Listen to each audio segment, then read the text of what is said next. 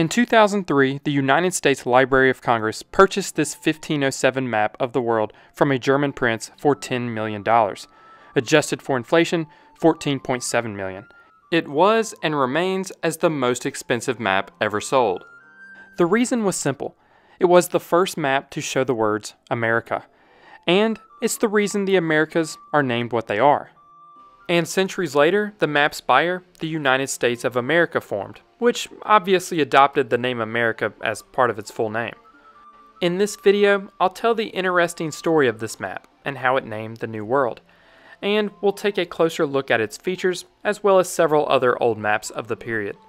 The map was published in 1507 alongside a 103 page book in Latin titled Cosmographia Introductio or in English, Introduction to Cosmography, by Martin Waldseemüller and Matthias Ringmann, though they used different pen names at the time.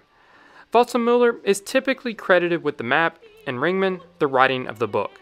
The Introduction to Cosmography, which is thought to have had a thousand copies printed, faded into obscurity, but they resurfaced in the 18th and 19th century, though none of them had a map. This book described what was visible of the cosmos in 1507 which of course included what was known about the geography of the Earth. It included climate zones, the shape of the Earth, winds, and habitable regions. This wasn't much different than other textbooks of the period. But after the authors described what was known to Europeans about Africa, Asia, and of course Europe, the authors described a new part of the world, which had no settled name. So they made an argument for what they thought it should be named. These parts have in fact now been more extensively explored, and a fourth part has been discovered by Amerigo Vespucci, as will be set forth in what follows. Since both Asia and Africa received their names from women, I see no reason why anyone should justly object to calling this part Amerige, or the land of Amerigo, or America, after Amerigo is discoverer, a man of great ability. But wasn't it Christopher Columbus that discovered this fourth part of the world? Few have doubted that Christopher Columbus made contact with this new world before the Italian explorer Amerigo Vespucci. This occurred in 1492, but Columbus didn't set foot on the mainland until his third of four voyages in 1498 on what is today the coast of Venezuela. Before this, he had only visited the islands of the Caribbean.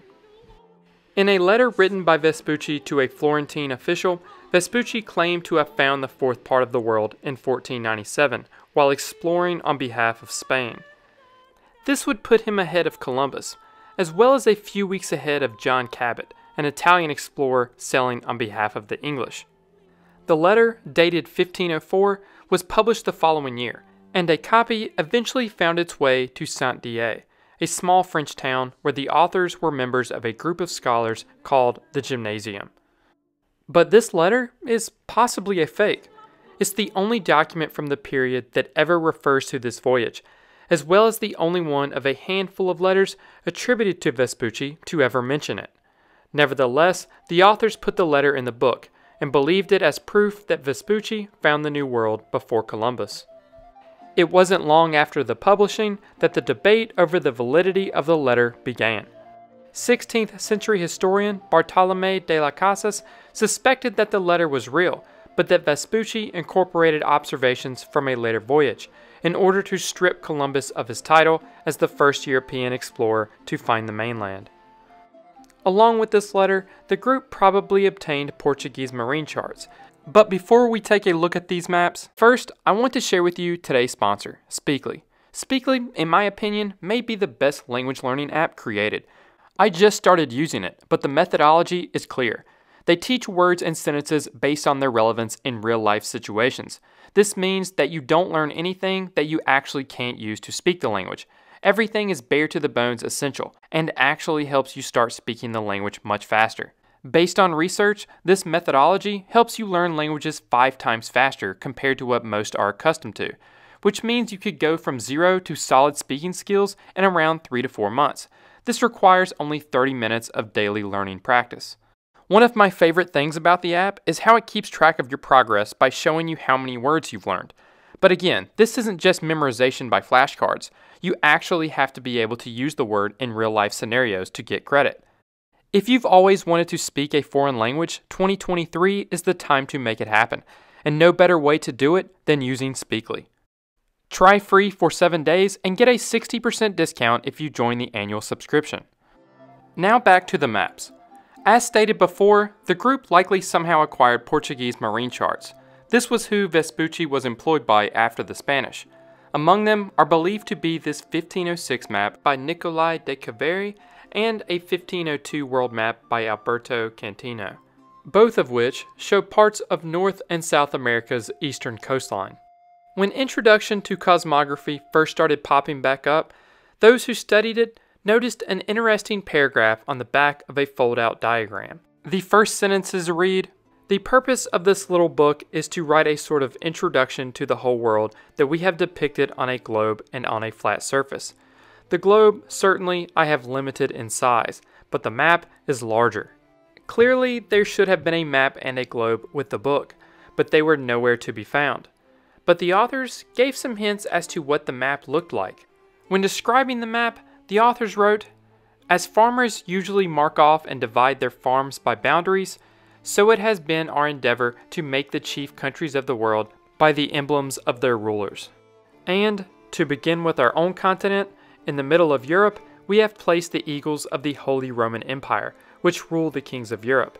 And with the key, which is the symbol of the Holy Father, we have enclosed almost the whole of Europe, which acknowledges the Roman Church. The great part of Africa and part of Asia we have distinguished by crescents, which are the emblems of the supreme Sultan of Babylonia, the Lord of Egypt, and part of Asia. The part of Asia, called Asia Minor, we have surrounded with a saffron colored cross joined to a branding iron, which is the symbol of the Sultan of the Turks, who rules Scythia on this side of the Emmaus, the highest of the mountains of Asia and Sarmatian Scythia. Asiatic Scythia we have marked by anchors, which are the emblems of the great Tartar Khan. A red cross symbolizes Prester John, who rules both eastern and southern India, and who resides in Bibarith. And finally, on the fourth part of the world, discovered by the kings of Castile and Portugal, we have placed the emblems of those sovereigns. What is not to be ignored is that we have marked with crosses shallow places in the sea where shipwreck may be feared.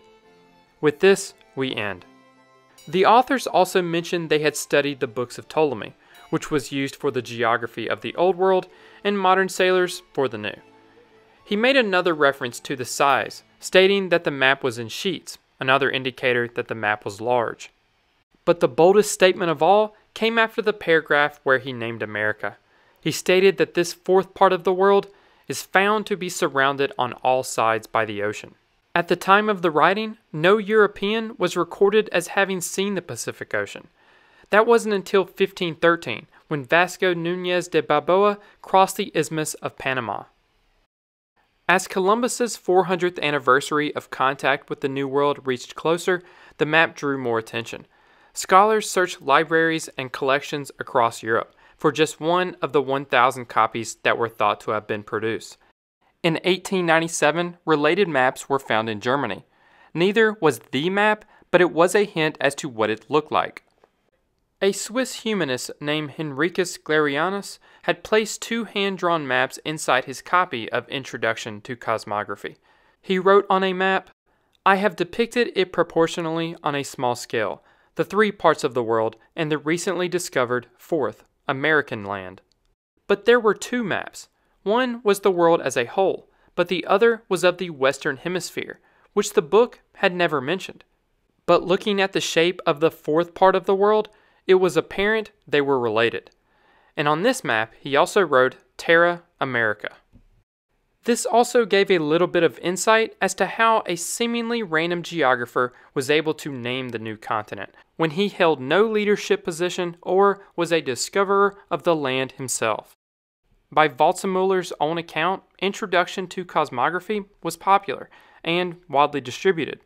It was also made for educational purposes, so many classrooms in Europe saw the map and globe, not just individual owners of the book. And with information not found on other published maps, it was probably tough to argue that this wasn't the most accurate. In 1538, Gerardus Mercator who still influences map making today with his famous projection, used America to name both the North and South. This may have been what fixed the New World's name as America permanently. Finally, in 1910, a map was found in the library of the Castle of Wolfegg in Germany, tucked away in a book owned by a 16th century German geographer Johannes Schöner. It was found by a Jesuit historian, Joseph Fischer, who had been searching for the past seven years for maps that showed evidence of early Atlantic exploration of the Norsemen. Everything matched up just as the introduction to cosmography had described it, including its size. Unfolded, it measured at a massive 4.5 feet by 8 feet. The map was sold to the Library of Congress in 2003 and was officially handed off in a ceremony in 2007, and today is housed in the Thomas Jefferson Building. Though there is thought to have been around a thousand copies made, this wall map remains the only copy to have been found.